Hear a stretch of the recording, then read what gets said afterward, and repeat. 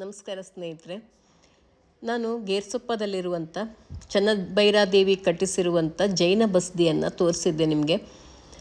ನಾವು ಅವತ್ತು ಬಂದಾಗ ಇಲ್ಲಿ ಡೋರ್ ಓಪನ್ ಮಾಡಿರಲಿಲ್ಲ. ಯಾಕೆಂದರೆ ನಾವು ಬರುವಾಗ ಲೇಟ್ ಆಗಿಬಿಟ್ಟಿತ್ತು. ಐದೂವರೆ ನಂತರ ಬಂದರೆ ಕ್ಲೋಸ್ ಆಗಿರುತ್ತೆ. ಈಗ ಚಿಕ್ಕಮ್ಮ ಮತ್ತು ಚಿಕ್ಕಮ್ಮನ ಮಗಳು ಬಂದಾಗ ತಮ್ಮ ಮತ್ತೆ ಪುನಃ ಇಲ್ಲಿ ಕರ್ಕೊಂಡು ಬಂದ ಈಗ ನಿಮಗೆ ತೋರಿಸ್ತಾ ಇದ್ದೀನಿ ನೋಡಿ, ಇಲ್ಲಿ ಕೆತ್ತನೆ ಯಾವ ರೀತಿ ಇದೆ ಅಂತ ಬಾಗಿಲಿನ ಅಕ್ಕಪಕ್ಕ ಶಿಲಾಬಾಲಿಕೆಯರ ಕೆತ್ತನೆ ಇದೆ, ಒಳಗಡೆ ನೋಡ್ಬೋದು. ನಾಲ್ಕು ವಿಗ್ರಹಗಳಿದೆ, ನಾಲ್ಕು ಕಡೆ ಮುಖ ಹಾಕ್ಕೊಂಡಿರುವಂಥದ್ದು ಹಾಗೆ ಇಲ್ಲಿನ ಕಂಬಗಳ ಕೆತ್ತನೆಯನ್ನು ನೋಡ್ಬೋದು, ಎಷ್ಟು ಚೆನ್ನಾಗಿದೆ ಅಂತ ಹೇಳ್ಬಿಟ್ಟು. ಸ್ವಲ್ಪ ಕತ್ಲೆ ಕತ್ಲೆ ಇರುತ್ತೆ, ನಾಲ್ಕು ಬಾಗಿಲನ್ನು ಓಪನ್ ಮಾಡಿದ್ರೆ ಮಾತ್ರ ಒಳಗಡೆ ನಿಮಗೆ ಬೆಳಕು ನೋಡೋದಕ್ಕೆ ಸಿಗತ್ತೆ, ಇಲ್ಲಾಂದರೆ ನಾವು ಬೆಳಕು ಬಿಟ್ಕೊಂಡೇ ನೋಡಬೇಕಾಗತ್ತೆ. ಮೇಲ್ಗಡೆ ಕೂಡ ನೋಡ್ಬೋದು ಯಾವ ರೀತಿ ಇದೆ ಕೆತ್ತನೆ ಅಂತ ಹೇಳ್ಬಿಟ್ಟು ಮೊದಲೆಲ್ಲ ಎಷ್ಟು ಚೆನ್ನಾಗಿ ಕೆತ್ತನೆಯನ್ನು ಮಾಡ್ತಾಯಿದ್ರು ನೋಡಿ, ಕಂಬಗಳ ಕೆತ್ತನೆಯನ್ನು ನೋಡ್ಬೋದು. ಸುತ್ತಲೂ ಎಲ್ಲ ಕಡೆಯೂ ಸುಂದರವಾದಂಥ ಕೆತ್ತನೆಯನ್ನು ನಾವು ನೋಡ್ಬೋದು. ನೋಡಿ ಇಲ್ಲಿ ಶಿಲಾಬಾಲಿಕೆಯರನ್ನು ಆ ಕಡೆ ಈ ಕಡೆ ಎಷ್ಟು ಚೆನ್ನಾಗಿ ಕೆತ್ತಿದ್ದಾರೆ ಅಂತ ಹೇಳ್ಬಿಟ್ಟು. ಹಾಗೆ ಇಲ್ಲಿರುವಂಥ ದೇವಸ್ಥಾನವನ್ನು ನಾನು ಆವತ್ತು ನಿಮಗೆ ವಿಡಿಯೋದಲ್ಲಿ ಶೇರ್ ಮಾಡಿರಲಿಲ್ಲ. ಇವತ್ತು ಅದನ್ನು ಕೂಡ ನಿಮ್ಮ ಜೊತೆಗೆ ಶೇರ್ ಮಾಡ್ತಾ ಇದ್ದೀನಿ. ಒಳಗಡೆ ಎಲ್ಲ ಇದು ಈ ರೀತಿ ಕಾಣಿಸುತ್ತೆ. ಸುತ್ತಲೂ ಮೇಲ್ಗಡೆ ಎಲ್ಲ ಕೆತ್ತನೆಯನ್ನು ನೀವು ನೋಡ್ಬೋದು. ನಾಲ್ಕು ದಿಕ್ಕಿನಲ್ಲೂ ಕೂಡ ಒಂದೇ ರೀತಿಯ ಮೂರ್ತಿಯನ್ನು ನೋಡೋದಕ್ಕೆ ಸಿಗತ್ತೆ. ಆದರೆ ಸ್ವಲ್ಪ ಅದರಲ್ಲಿ ವ್ಯತ್ಯಾಸ ಇರುತ್ತೆ. ನಾಲ್ಕು ಬಾಗಿಲ ಕಡೆಗೂ ಮುಖ ಮಾಡಿ ನಾಲ್ಕು ವಿಗ್ರಹಗಳು ಇದೆ ನೋಡಿ, ಈ ಬಾಗಿಲಲ್ಲಿ ಒಂದಿದೆ, ಆ ಸೈಡಲ್ಲಿ ಒಂದು ನೋಡಿದ್ರಲ್ಲ, ಒಂದೊಂದು ಕಡೆ ಒಂದೊಂದು ರೀತಿ ಇದೆ. ಈಗ ದೇವಸ್ಥಾನಕ್ಕೆ ಹೋಗೋಣ. ಜ್ವಾಲಾಮುಖಿ ಅಮ್ಮನವರ ದೇವಾಲಯ ಇದು. ಹೋಗೋಣ ಒಳಗಡೆ. ಜ್ವಾಲಾಮುಖಿ ಅಮ್ಮನವರ ದೇವಾಲಯದ ಎದುರುಗಡೆ ಈ ರೀತಿ ಇದೆ. ಹಾಗೆ ಒಳಗಡೆ ಹೋಗ್ತಿದ್ದಾಗೇನೆ.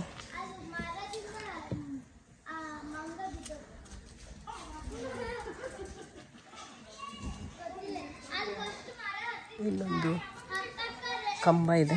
ಕಲ್ಲಿಂದು, ಹಾಗೆ ಇಲ್ಲಿ ಮುಂದ್ಗಡೆ.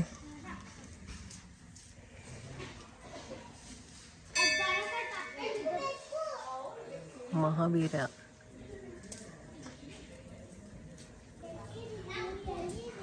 ನೋಡಿ, ಸುತ್ತಲೂ ಈ ರೀತಿ ಇದೆ. ಎಲ್ಲ ಕಡೆ ಬೆಂಕಿ ಹಾಕಿದ್ದಾರೆ. ಎಲ್ಲ ಕಡೆ ನೀಟಾಗಿ ಕ್ಲೀನ್ ಮಾಡಿ ಬೆಂಕಿ ಹಾಕಿದ್ದಾರೆ. ನೋಡಿ, ಸುತ್ತಲೂ ಎಷ್ಟು ಚೆಂದ ಇದೆ. ನಾವು ಬರುವಾಗ ಸಂಜೆ ಆಗ್ಬಿಡ್ತು ಆದರೆ. ಇದು ಅಮ್ಮನವರ ದೇವಾಲಯ. ಪಾರ್ಶ್ವನಾಥ ತೀರ್ಥಂಕರರು ನಮ್ಮಲ್ಲಿ ನೋಡಿರೋದು. ಹಾಗೆ ಇಲ್ಲಿ ಹಸು ಎಲ್ಲ ಇದೆ ನೋಡಿ ಮಕ್ಕಳಿಗೆ ಹಸುವಿನ ಕರುವಿನ ಜೊತೆಗೆ ಆಟ ಆಡ್ತಾ ಇದ್ದಾರೆ.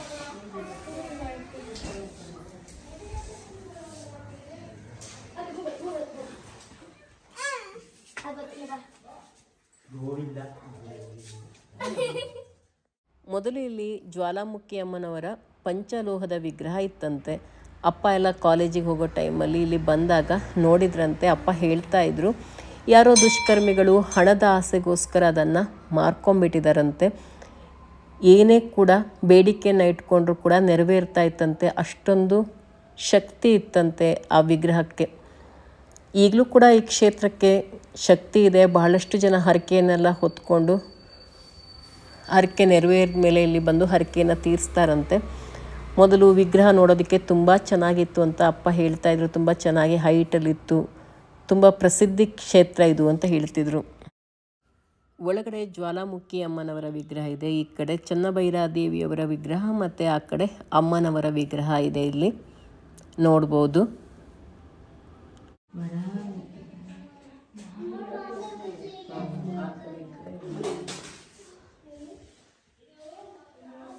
ದೇವಿ ಅಲಂಕಾರ ಮಾತ್ರ ಅಷ್ಟೇ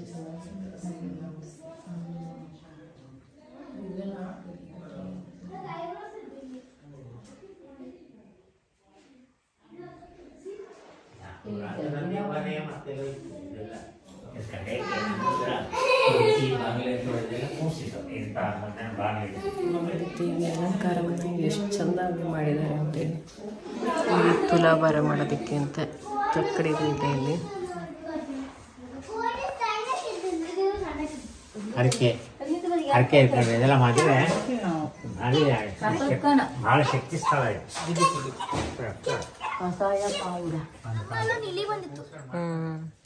ಮತ್ತೆ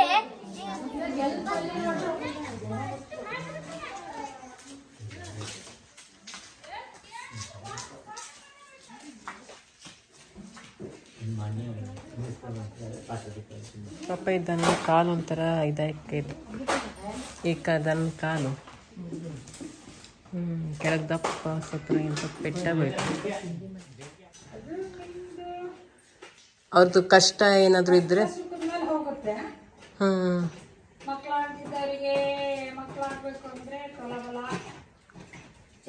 ಬೆಳ್ಳಿ ತೊಟ್ಲು ಓ ಆ ಥರ ಎಲ್ಲ ಹೇಳ್ಕೊಳ್ತಾರ? ಅದೆಲ್ಲ ಅವ್ರ ಹರಕೆ ಎಲ್ಲ ತೀರ್ದ ಮೇಲೆ ಬಂದು ಇದಲ್ಲ ಅವರಿಗೆ ಆದ್ಮೇಲೆ ಹರಕೆ ತೀರ್ಸೋಗ್ತಾರ?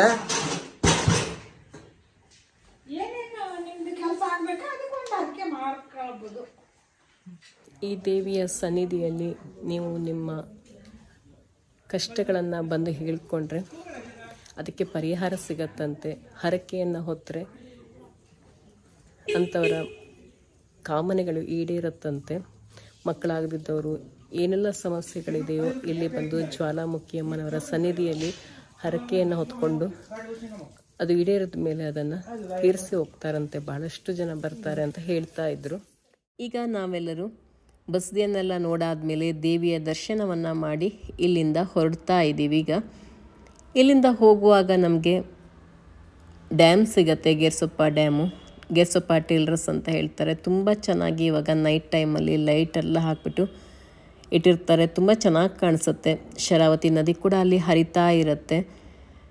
ಲಾಸ್ಟ್ ಟೈಮ್ ನಾನು ಹೋಗ್ತಾ ಇರುವಾಗ ನಿಮಗೆ ವಿಡಿಯೋ ಮಾಡಿ ತೋರಿಸಿದ್ದೆ. ಆವಾಗ ನೀರು ಹರಿತಾ ಇರೋದು ಬೆಳಕಿರುವಂಥ ಟೈಮಲ್ಲಿ ಇವಾಗ ಕತ್ಲೆ ಆಗಿರೋದ್ರಿಂದ ಅಲ್ಲಿ ಲೈಟೆಲ್ಲ ಹಾಕಿರ್ತಾರೆ. ಆವಾಗ ಹೇಗೆ ಕಾಣಿಸುತ್ತೆ ಅನ್ನೋದನ್ನು ನೋಡಿ ಇಲ್ಲಿ. ಇದು ನೋಡಿ ನಮ್ಮ ಶರಾವತಿ ಟೇಲ್ರಸ್ ಇದು. ಸಂಜೆ ಟೈಮಿಗೆ ಈ ರೀತಿ ಕಾಣಿಸ್ತಾ ಇದೆ. ಹೋಗುವಾಗ ತೋರಿಸಿದ್ನಲ್ಲ, ಡ್ಯಾಮು ಇದೇನೆ. ಇವಾಗ ಲೈಟ್ ಹಾಕಿದ್ದಾರೆ. ಸಂಜೆ ಟೈಮ್ಗೆ ಈ ರೀತಿ ಕಾಣಿಸ್ತಾ ಇದೆ.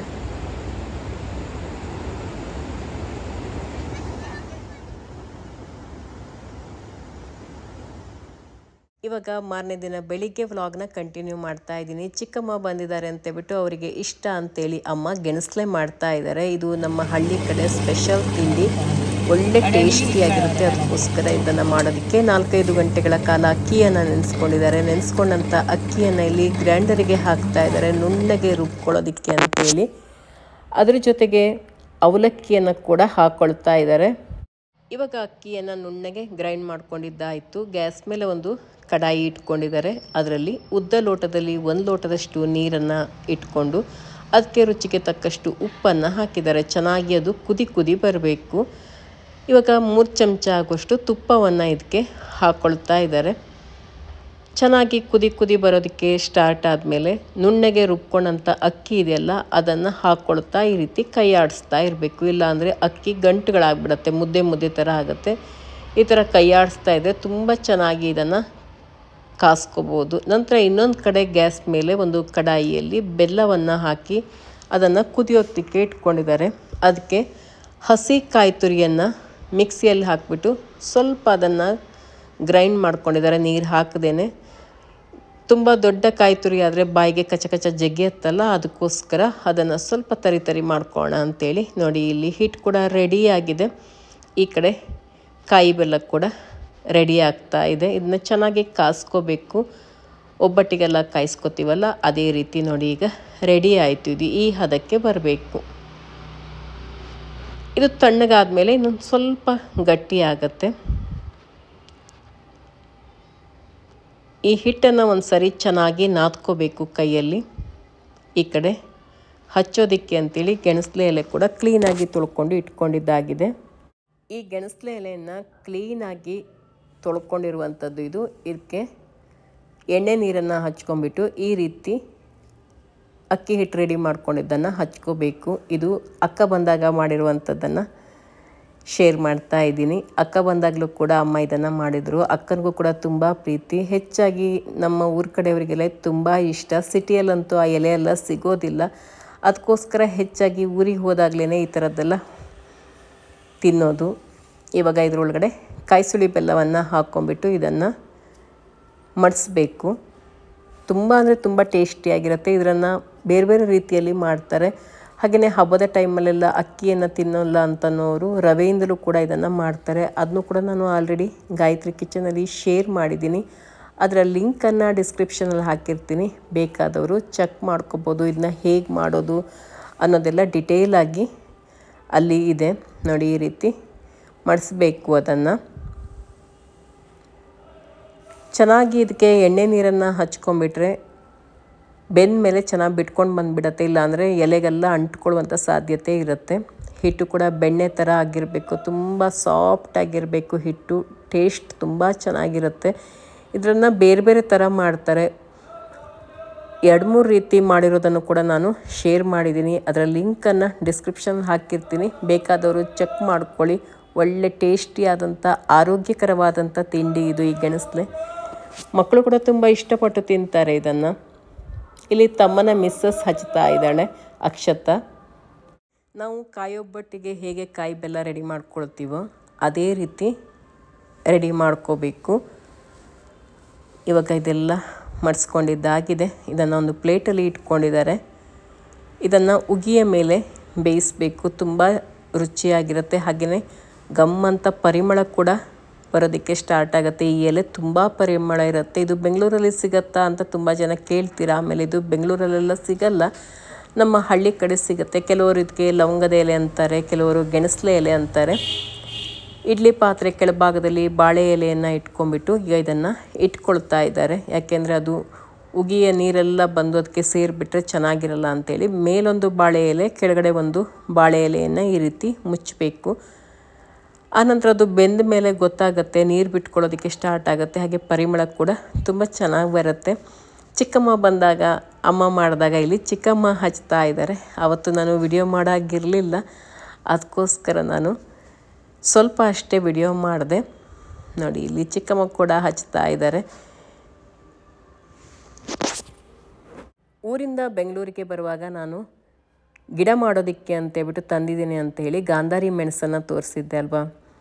ಕಮೆಂಟಲ್ಲಿ ಒಂದಿಬ್ಬರು ಕೇಳಿದರು ಗಾಂಧಾರಿ ಮೆಣಸು ಹೇಗಿರುತ್ತೆ ಅನ್ನೋದನ್ನು ತೋರಿಸಿ ಅಂತ ಅದನ್ನು ಇವಾಗ ಇವತ್ತಿನ ವಿಡಿಯೋದಲ್ಲಿ ನಿಮ್ಮ ಜೊತೆಗೆ ಶೇರ್ ಮಾಡ್ತಿದ್ದೀನಿ. ನೋಡಿ, ಇಲ್ಲಿ ಗಾಂಧಾರಿ ಮೆಣಸು ಹಾಕ್ಕೊಂಡಿದೆ.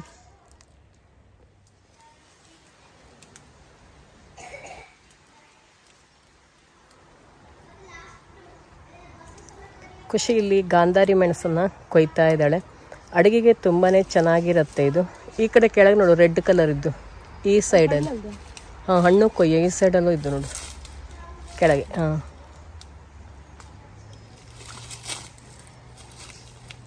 ಇಲ್ಲಿ ಸೂಜಿ ಮೆಣಸು, ಗಾಂಧಾರಿ ಮೆಣಸು ಎಲ್ಲ ಇದೆ. ಇದು ತುಂಬ ಖಾರ ಇರುತ್ತೆ. ಸ್ವಲ್ಪನೇ ಹಾಕಿದ್ರೂ ಸಾಕಾಗುತ್ತೆ ಅಡುಗೆಗೆ.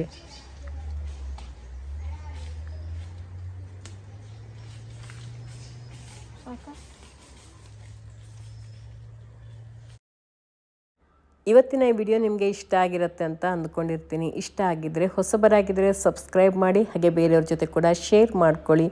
ನಿಮ್ಮ ಅನಿಸಿಕೆ, ಅಭಿಪ್ರಾಯವನ್ನು ಕಮೆಂಟಲ್ಲಿ ತಿಳಿಸಿ, ಹಾಗೆ ಒಂದು ಲೈಕ್ ಮಾಡೋದನ್ನು ಮರಿಬೇಡಿ ಸ್ನೇಹಿತರೆ. ಇನ್ನೊಂದು ವಿಡಿಯೋ ಜೊತೆಗೆ ನಿಮ್ಮನ್ನು ಭೇಟಿ ಮಾಡ್ತೀನಿ.